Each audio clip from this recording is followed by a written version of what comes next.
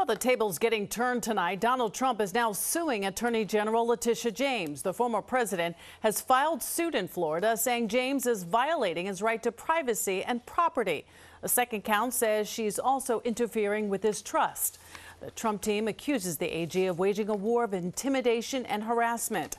They say her actions are timed to help her own political prospects.